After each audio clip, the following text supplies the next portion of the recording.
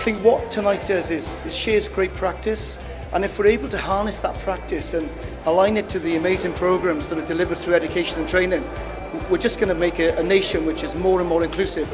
It's about putting disability sport and physical activity at the heart of the nation.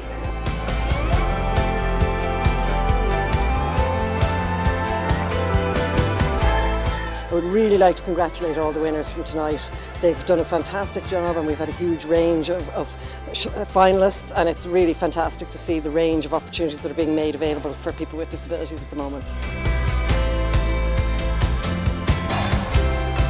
The work we've been doing is trying to create inclusive environments within our mainstream clubs and where uh, children cannot access the clubs for whatever reason, we've looked at creating new um, associations of football like amputee, power chair and blind.